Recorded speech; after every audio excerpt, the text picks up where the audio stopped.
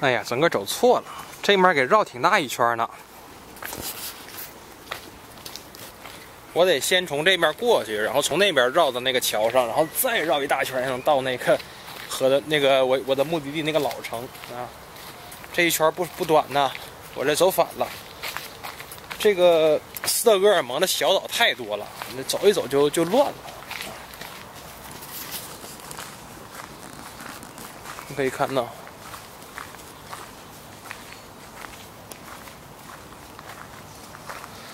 它和威尼斯就不一样。威尼斯的话呢，呃，你是有很多的这个桥的。它这面的话，桥很少啊。